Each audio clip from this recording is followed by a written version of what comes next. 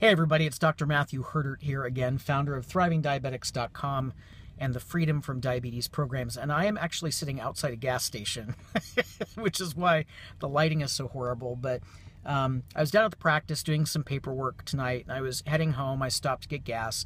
And um, as I was sitting here, I noticed somebody who was who did not look like they were feeling happy or feeling healthy coming out of the uh, mini mart associated with the grocery store with just an armful of junk food. I mean, I don't know why they didn't have a bag, but even if they'd had a bag, it would have been a difficult bag to carry. There was a big bag of potato chips and um, you know, a bunch of numbers of sodas and a pint of ice cream that I saw. It looked like some other candy bars.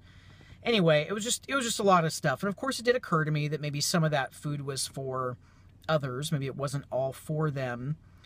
But it, I mean, it gave me a lot of compassion. I really felt for this person. First of all, not judgment, not they're a bad person, but just you know, I've I've been in that space. I've been in that space where that's the only way I knew how to take care of myself, and I thought that that was okay. And um, it made me think back to a time earlier in my life when I was in high school, mostly when I was in college. I went to UCLA and lived close to Westwood, which is the little town next to campus. So it was relatively easy for me to just go down and get junk food at night and take it back and, and pig out on it. And um, what I remembered about that time is that the hardest thing for me, once I got into a period where I felt like I wanted to change things, make different choices, the hardest thing for me was I didn't feel like I had any control over the moment of, of choosing, that choice point.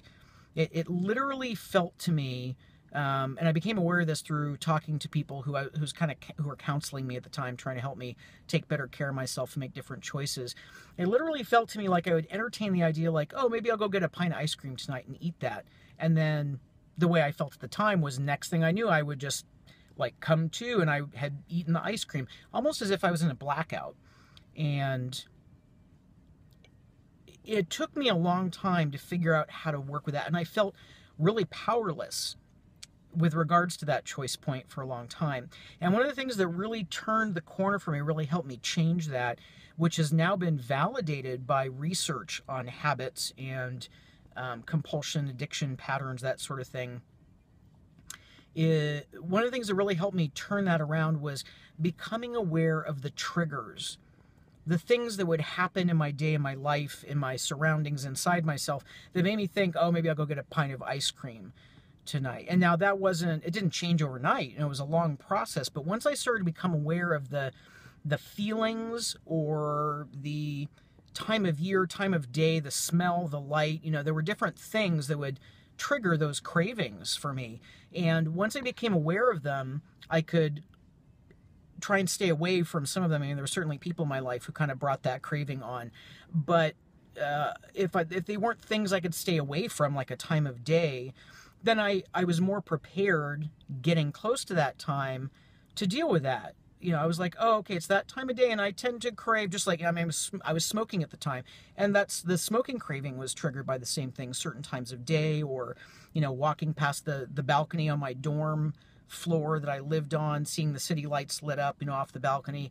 So if you're really struggling with that, and I know a lot of us do, diabetic and non diabetic alike, honestly, but if you're struggling with that, start looking for those triggers. You know, start looking for those cues, those things that initiate that craving for you, and see what you can do to either get them out of your life or to stay away from them, you know, if it's a person or an emotional situation, or to um, to uh, help it help you be better prepared. So, musings from a gas station parking lot. anyway, I'm thinking about you guys. I hope you're doing well. I hope you're um, hope you're taking good care of yourself. I hope you're not like this person I saw tonight. Man, it just really made me feel made me really feel for him because I like I said I've been there. So that is not the right way to take care of yourself. And there is so much good information, good tools and technology, so much support out there for you to turn this stuff around. So if you're struggling grab a hold of somebody or some system. I don't care if it's mine or somebody else's, it doesn't make a difference to me as long as you're moving in a positive direction because you don't have to be subject to the symptoms, to the cravings, to the side effects, and certainly not to the long term horrible complications. So I hope you're out there living large, you know, sucking the juice out of life, really engaged with the things that bring you joy and bring you meaning and give you a sense of purpose.